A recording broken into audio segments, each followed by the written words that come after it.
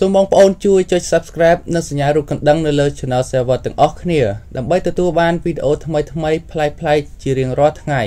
សូមអរគុណបាទសូមស្វាគមន៍ប្រិយមិត្តទាំងអស់នៅតាមបណ្ដាញសង្គម YouTube បាទពេលនេះយើងមកតាមដានព័ត៌មានថ្មីមួយទៀតហើយ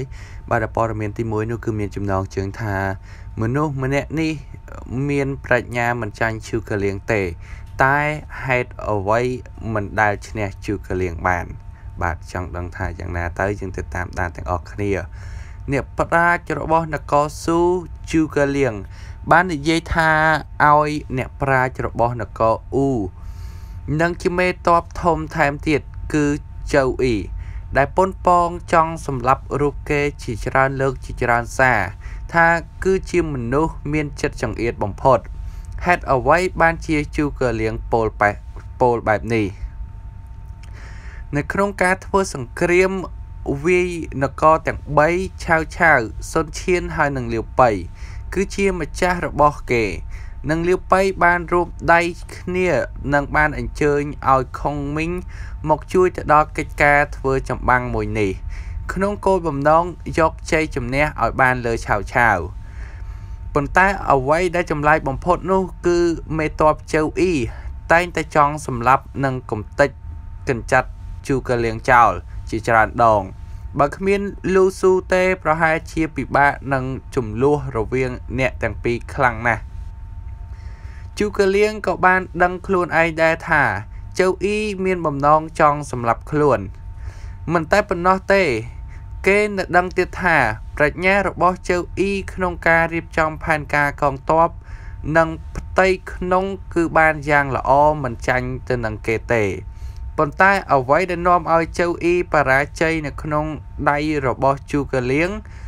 គឺគេមានចិត្តចង្អៀតចង្អល់ពេកមិនព្រមចំណោះទៅនឹងជូកាលៀងជាដាច់ខាត រហូតមានពេលមួយជៅអ៊ីគេបានពោលថា បើបង្កើតចៅហើយចាំបាច់អ្វីបង្កើតជូកាលៀងមកធ្វើអ្វីនៅក្នុងន័យដ៏សោកសង្រែងនេះជៅអ៊ីចង់ត្អូញត្អែថា ហេតុអ្វីចាំបាច់មានជូកលៀងមកលើផែនដីនេះធ្វើអ្វីបើបង្កើតរូបគេមកហើយនិយាយជារួមគឺគេមិនអាចរស់នៅលើផែនដីជាមួយនឹងជូកលៀងបានឡើយមនុស្សចិត្តចង្អៀតបែបនេះគឺមិនអាចធ្វើការងារធំបានជាដាច់ខាតចំណែកឯជូកលៀងវិញ គឺគេមិនដែលខ្វល់ទៅនឹងបញ្ហានេះនោះទេ គេរស់នៅដោយមានសេចក្តីសុខនិងបង្កើនសមត្ថភាពពីមួយថ្ងៃទៅមួយថ្ងៃដោយងាយជូអ៊ីរស់នៅក្នុងកង្វល់រហូតធ្លាក់ខ្លួនឈឺស្លាប់បាត់ពីផែនដីនេះដ៏បាត់ពីផែនដីដ៏ស្រស់ស្អាតនេះគួរឲ្យសោកស្ដាយបំផុតក្នុងនាមជាមនុស្សកើតមកលើផែនដីជាមួយគ្នា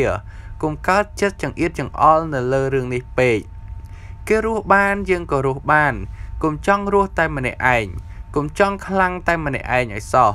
ព្រោះផែនដីទាំងមូលនេះមិនមែនជាកម្មសិទ្ធិរបស់អ្នកណាម្នាក់នោះទេ បើដូច្នេះហើយហេតុអ្វីយើងមិនគួររស់នៅដោយភាពរីករាយនិងសន្តិភាពនឹងគ្នាទៅបាទនេះជាមូលហេតុដែលជៅអ៊ីមិនដែលឈ្នះជូកាលៀងទាំងដែលប្រាជ្ញារបស់គេគឺអាចប្រៀបនឹងជូកាលៀងបាន បាទនៅពេលនេះខ្ញុំបាទក៏សូមបញ្ចប់អត្ថបទទី1ត្រឹមប៉ុណ្នេះក៏បង្វែរអារម្មណ៍ប្រិយមិត្តទាំងអស់មកតាមដាននៅពត